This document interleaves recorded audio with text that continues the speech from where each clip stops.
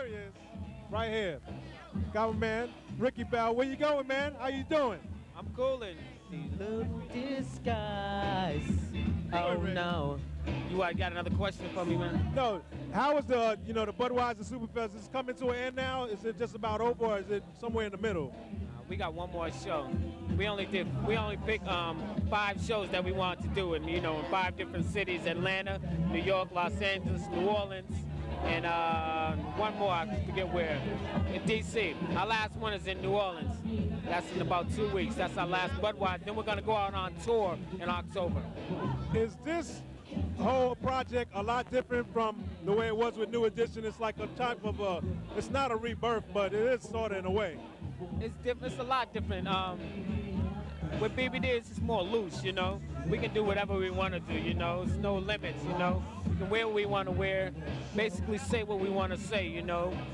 And I think with that, you know, our audience is we're, we're reaching into another audience that we didn't have with New Edition, you know. We still like New Edition. We still want to get back to that, you know, stepping and in the suits and stuff like that, you know. That's still our style. And a lot of people want to know what's going to happen with New Edition.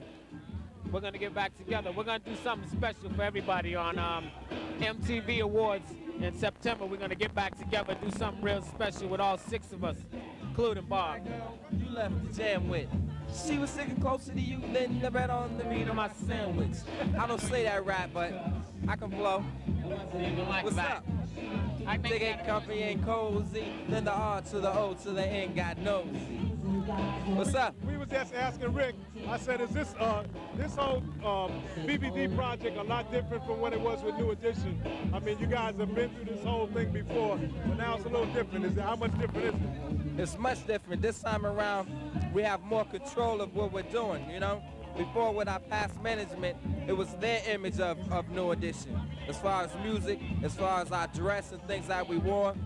And this time around, we're doing things that really come from the heart, you know? We listen, we listen to this kind of music in our Jeeps and, you know, when we go to the clubs and we dance to that hip hop. And that's what it's all about. And that's what we wanted to get into this time. And the whole difference is the fact that we have more control, so we're able to express ourselves more.